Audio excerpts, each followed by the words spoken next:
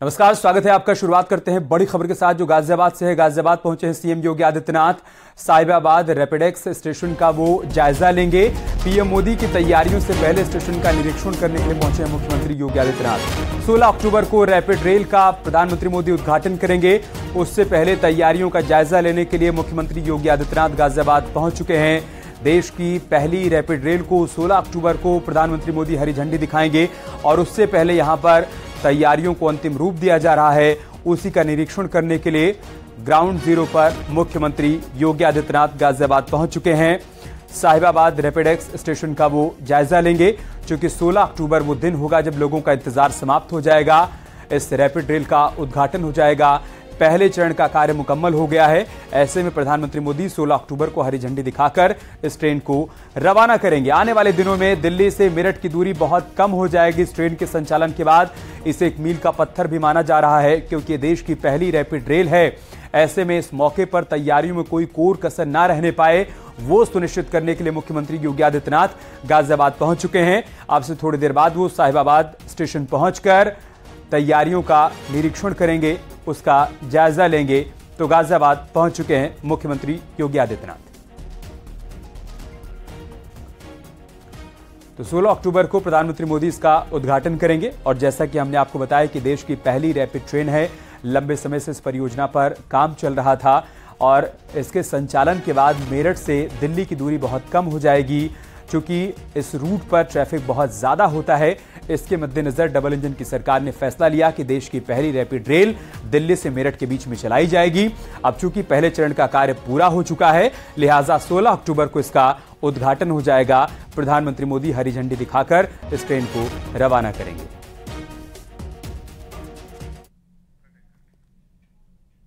तो एक बार फिर से आपको बता दें कि पीएम मोदी 16 अक्टूबर को साहिबाबाद स्टेशन से रैपिड रेल को हरी झंडी दिखाएँगे, उसका उद्घाटन करेंगे और इसके बाद सीएम योगी हिंडन एयरपोर्ट से लखनऊ के लिए आज रवाना हो जाएँगे निरीक्षण करने के बाद।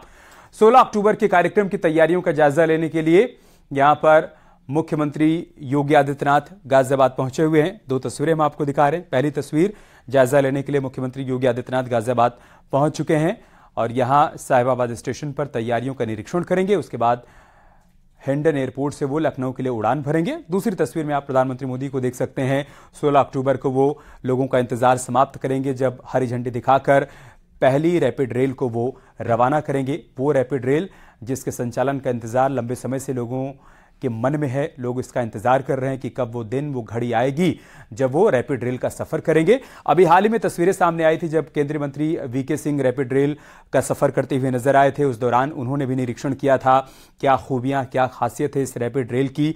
और चूँकि हमने आपको बताया कि पहले चरण का काम मुकम्मल हो गया है, लिहाजा सरकार की कोशिश है कि पहले चरण के, के काम के पूरा होने के बाद जहाँ तक ट्रैक का निर्माण हो गया है स्टेशन का निर्माण हो गया है वहाँ तक इस रैपिड रेल का संचालन शुरू किया जा सके और इसी के मद्देनजर 16 अक्टूबर को प्रधानमंत्री मोदी इस रैपिड रेल को हरी झंडी दिखाकर रवाना करेंगे।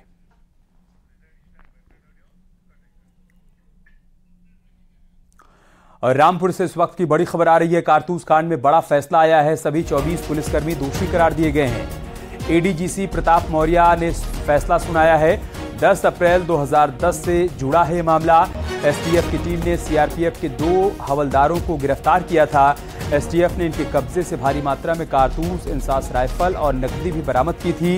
इन दोनों हमलावरों की निशानदेही पर इलाहाबाद, मुरादाबाद, बस्ती, गोंडा, बनारस सहित कई जिलों से पुलिस पीएससी के आरमूरर को गिरफ़्तार किया गया था। और इसी मामले में अब बड़ा फैसला आया है। हमारे सहयोगी विशाल सक्सेना हमारे साथ जुड़ चुके हैं।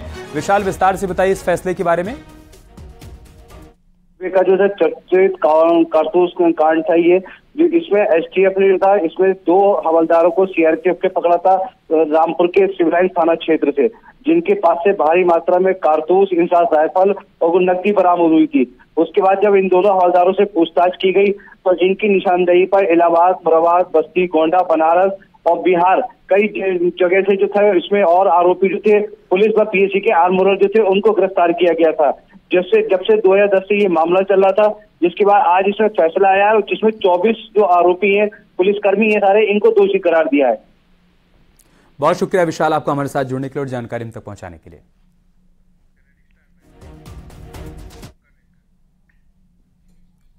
और अब खबर प्रयागराज से जहाँ पर अंडरवर्ल्ड डॉन बबलू श्रीवास्तव पेशी पर आने से डर रहा है। बबलू को अपनी जान का डर सता रहा है। बबलू श्रीवास्तव ने बरेली जेल से वीडियो कॉन्फ्रेंसिंग के ज़रिए पेशी की गुहार लगाई है। चर्चित सराफा कारोबारी पंकज महिंद्रा के अपहरण कांड में गवाही देने के लिए बबलू को पेश होना है। हालाँकि जिला जज कोर्ट ने उसकी अर्जी खारिज कर दी है। कोर्ट ने 16 अक्टूबर को बयान के लिए उसे तलब किया है। बबलू डॉन को डर है कि बरेली से प्रयागराज के सफ़र में जान को खतरा हो सकता है। 5 सितंबर 2015 की रात दुकान बंद कर कार से घर जाते समय सराफा व्यवसायी पंकज महेंद्र को अगवा किया गया था। इसी मामले पर बबलू की गवाही होनी।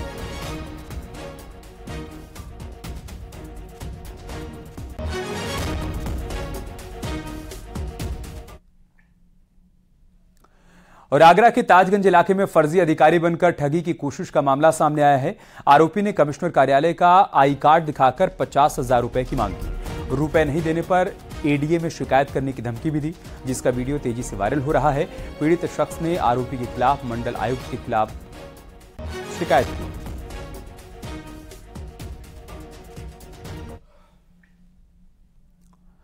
बाराबंकी में पुलिस की प्रभावी कार्रवाई से भूमाफिया संजय सिंगला को पाँच साल की सजा हुई है और कोर्ट ने दस हज़ार रुपए का अर्थदंड भी लगाया है। दोषी भूमाफिया संजय सिंगला ने सिंगला रेजिडेंसी कंपनी बनाकर ज़मीन और मकान के नाम पर करोड़ों रुपए ठग लिए थे। सरगना संजय सिंगला को मुख्य न्यायिक मजिस्ट्रेट ने पाँच साल के कारावास और दस हज़ार रुपए जुर्माने की सजा सुनाई। सिंगला का मामला पुलिस विभाग ने ऑपरेशन कन्विक्शन के तहत चिन्हित कर रखा था। साल भर के अंदर ही सजा सुनाई गई। बता दें कि वैशाली श्रीवास्तव ने संजय सिंगला के खिलाफ बाराबंकी नगर कोतवाली में एक साल पहले धोखाधड़ी का मुकदमा दर्ज कराया था।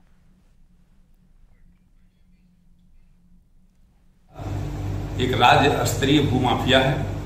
इस भूमाफिया और इसके साथियों के विरुद्ध कुल 31 अभियोग अभी तक पंजीकृत हुए हैं, जिसमें दो अभियोग लखनऊ के भी सम्मिलित हैं। इस भूमाफिया और इसके साथियों के विरुद्ध जो भी अभियोग पंजीकृत हैं, जो माननीय न्यायालय में विचारणीय हैं, उनमें प्रभावी पैरवी के लिए एक माफिया पैरवी सेल का गठन किया गया है, जिसके द्वारा प्रभावी पैरवी करते हुए कोतवाली नगर के एक अभियोग में आज माननीय न्यायालय द्वारा पाँच वर्ष का कारा, कारावास और दस दस हज़ार रुपए के अर्थदंड की सजा सुनाई गई है। एटा के अलीगंज में गुरु और शिष्य के रिश्ते को शर्मसार करने वाला एक मामला सामने आया है। आरोप के मुताबिक एक शिक्षक ने आठवीं कक्षा की छात्रा को बहाने से कमरे में बुलाकर छेड़छाड़ की घटना को अंजाम दिया। छात्रा के विरोध करने पर आरोपी शिक्षक ने फेल करने की धमकी भी दी। पीड़िता की शिकायत पर पुलिस ने आरोपी टीचर के खिलाफ बॉक्स एक्ट के तहत मुकदमा दर्ज कर मामले की जाँच पड़ताल शुरू कर दी है। जिला कल मगरब की नमाज़ से पहले पाँच मिनट पहले। अच्छा। कोई प्रकार सामने आया कुछ मुद्दा सामने आया क्यों लगाई फांसी एक छोटा सा मोबाइल पकड़ा गया इतना था हाँ। पोटरा वाला हाँ। तो वो लड़, एक लड़का है नीलू फरहान हाँ। नाऊ का हाँ। उस लड़के ने उस लड़की को मोबाइल दिया हाँ। उसने उस लड़के ने लड़की से कुछ कह दिया वो हम लोगों ने पता नहीं जानकारी नहीं क्या कह दिया तो उसने दुपट्टे लड़के घर में कमरे में ला खबर वाराणसी से, जहाँ पर कमिश्नरेट पुलिस को कामयाबी मिली है। पुलिस ने गुम हुए 101 मोबाइल फ़ोन बरामद किए हैं। सर्विलांस सेल की मदद से पुलिस को एक कामयाबी मिली। पुलिस ने मोबाइल स्वामियों को उनके फ़ोन लौटा दिए हैं। तस्वीरें हम आपको दिखा रहे हैं। बड़ी कामयाबी के तौर पर पुलिस इसको देख रही है, क्योंकि लंबे समय से शिकायत मिल रही थी कि लोगों के फ़ोन चोरी हो रहे हैं। ऐसे में पुलिस ने इन एक सौ एक मोबाइल फोन्स को बरामद किया और इनके मालिकों को लौटाया भी गया।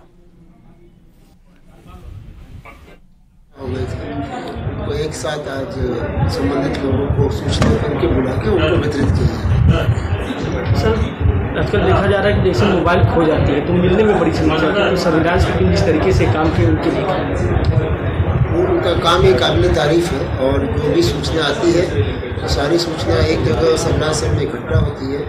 फिर मोबाइल के लिए प्रयास करते हैं हम लोग। जो मिल जाते हैं उनको मालिकों तक पहुँचा देते हैं। यारुग्रेश